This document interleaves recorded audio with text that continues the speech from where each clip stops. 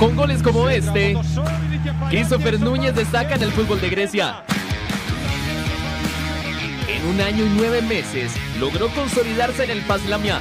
Creo que es un jugador diferente, un jugador que, que es muy vistoso, un jugador que se muestra, se muestra sin miedo, sin, sin miedo a jugar al fútbol, sin miedo a- a- al rival con el, con el que juegues, que juegas contra rivales pues de, de un potencial enorme en Grecia. El ex volante del Cartaginés vive su sueño como legionario y su buen rendimiento despertó interés de más clubes europeos. Tres equipos grandes de Grecia y dos de España tienen en su radar al Tico.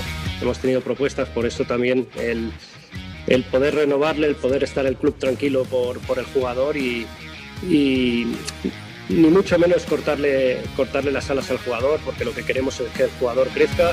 Núñez desea volver a la selección nacional, sin embargo su nombre fue olvidado por el cuerpo técnico patrio.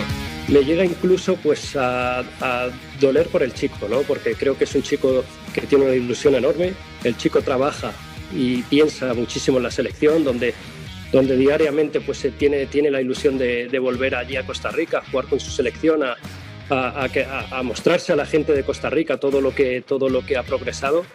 Pero han llegado desde el año pasado, o sea, han llegado tres, cuatro veces y en ninguna de ellas al final ha, ha entrado en la, en la lista, ¿no?